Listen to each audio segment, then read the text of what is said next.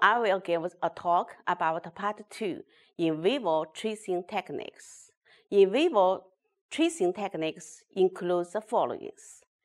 One, absorption, distribution, excretion of the substance. Two, radionuclide dilution method. Third, autoradiography. Fourth, determination of organ function.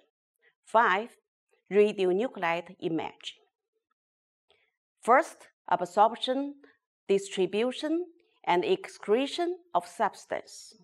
When various substances, including physiological substance and drugs, enter the body, they usually undergo digestion, absorption, distribution, transformation, and excretion radionuclide tracing technology can provide the most effective method and means to understand the dynamic change of substance in vivo, the influence of various factors on the metabolic process of substance in vivo, and the abnormal changes in the stage of the disease. The study of absorption distribution and excretion of substance is often used in pharmacology, pharmacodynamics, and toxicology of drugs. It has important value in drug screening, route of administration, and dosage form selection. Two, determination of organ function. It refers to a function stage of organ or tissue. After dynamic observation, it can give quantitative result and provide function evaluation for medical research and clinical diagnosis by radionuclide tracing technology. Radioactive drugs are dynamically distributed in the organ and the tissue concerned after they are introduced into the body. The process of the characteristic increasing and decline in the organ concerned can be observed by radio detective instrument, which shows a certain curve form. By selecting appropriate mathematical models to analyze the curve qualitatively and quantitatively, the result reflects the certain function state of the organ, can be obtained as the nature and degree of functional abnormality can be judged. The third, radionuclide imaging. Radionuclide imaging is a nuclear medicine technology based on radionuclide tracing principle and observing radionuclide or its labeled compounds within the body's metabolism distribution and obtain tissue functional image in vitro. Radionuclide or its labeled compounds are used to obtain functional and structural image of tissue or organ in vitro. Continuous imaging in a short time or intermittent imaging in a certain time range can observe the function and the morphology of organ simultaneously. It can not only show the morphology, location, size, structure change of organ and the tissue, but also can perform dynamic imaging and quantitative analysis the process of radionuclide imaging.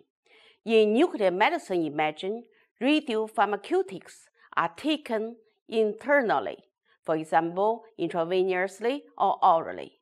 Then, external detectors, for example, gamma camera, they capture and form image from the radiation emitted by the radiopharmaceutics.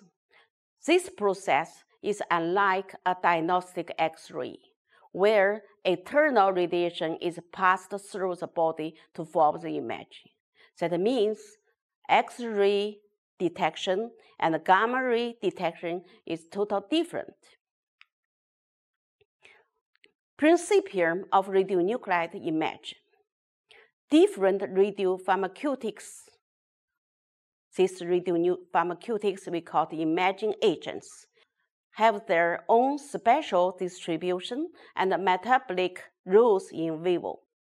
They can selectively gather in specific organ, tissue, or lesions to form a certain concentration difference between the radioactive distribution of radiopharmaceutics and adjacent tissues.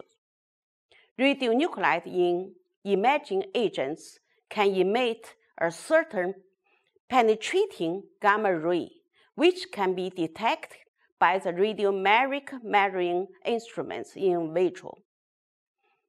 The difference of the radioactivity concentration was recorded to show the changes of shape, location, size, and function of organ, tissue, or lesions in vitro. Application of radionuclide imaging.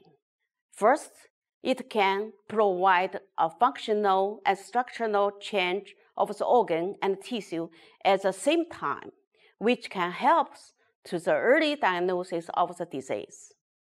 Second, it can be used for quantitative analysis. The third, it has high specificity. The fourth, safe and non-invasive, conforming to the physical condition. The fifth, the resolution of the organizational structures is less than other imaging methods classification of radioisotope imaging. First, static and dynamic imaging. Second, planar or tomographic imaging. The third, early and delay imaging. The fourth, positive and negative image.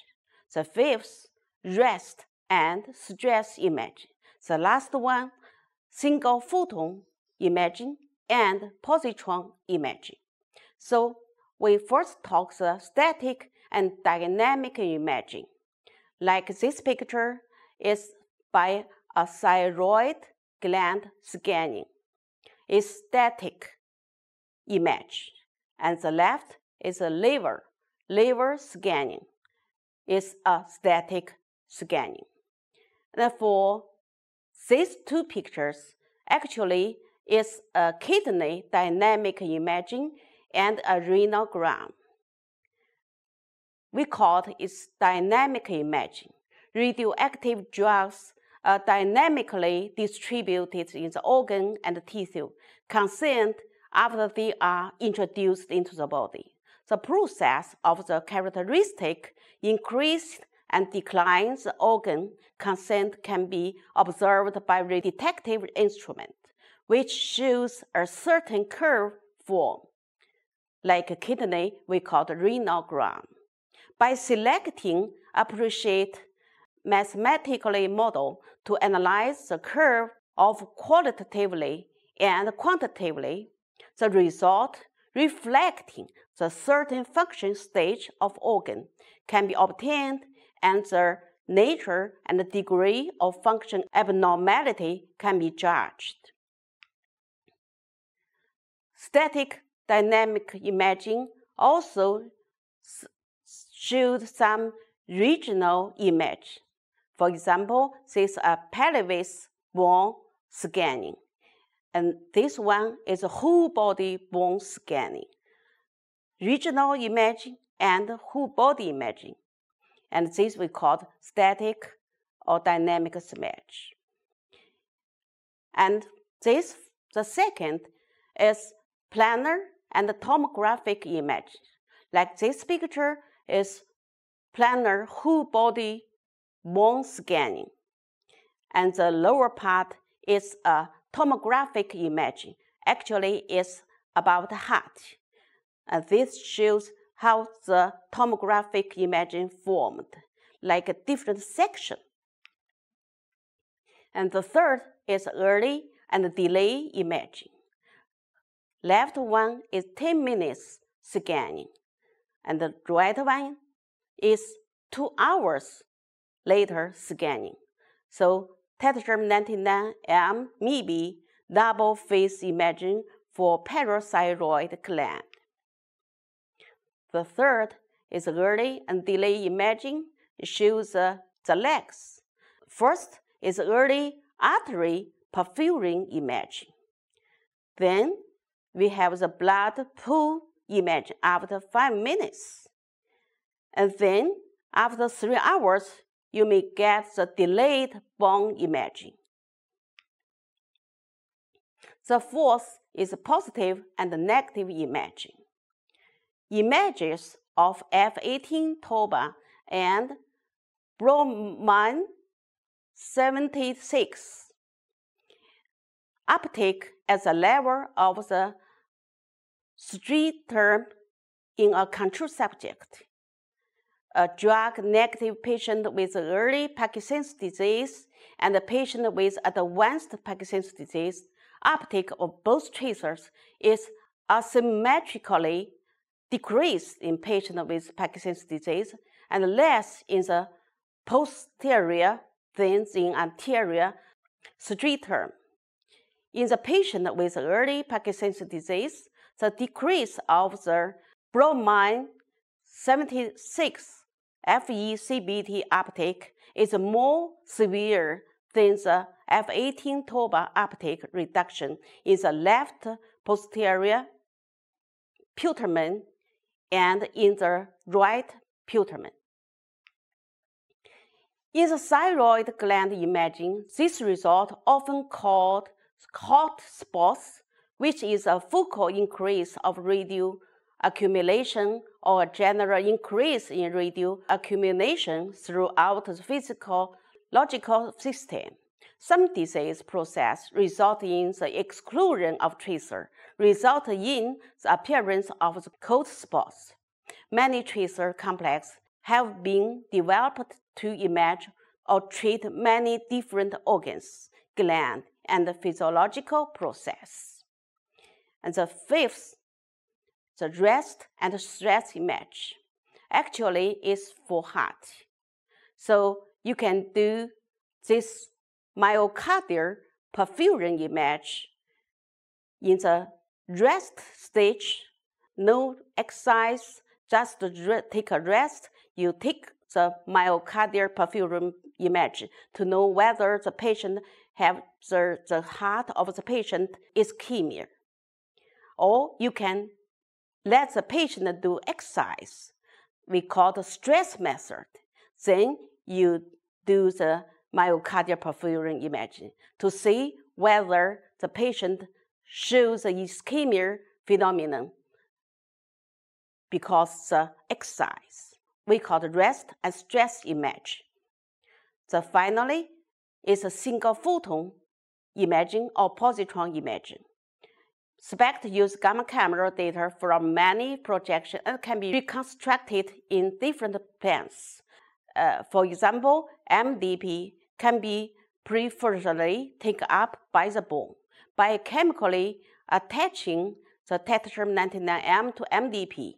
Radioactivity can be transported and attached to the bone where the hydroxy apatite for imaging. Any in physiological function, such as due to the fracture in the bone, will usually mean increased concentration of the tracer.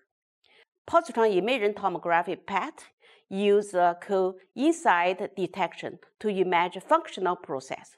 For example, F18 FDG. FDG similar as a glucose.